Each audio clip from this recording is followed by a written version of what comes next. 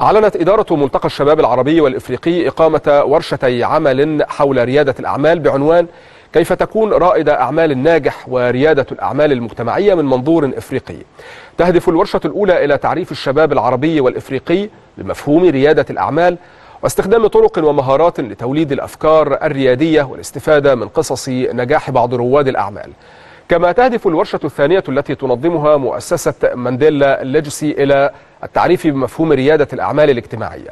يشار إلى أن ملتقى الشباب العربي الإفريقي سيعقد في مدينة أسوان في الفترة من السادس عشر وحتى الثامن عشر من هذا الشهر وسيقام خلاله عدد من الجلسات النقاشية وورش العمل والموائد المستديرة حول عدد من القضايا التي تهم القارة الإفريقية والمنطقة العربية.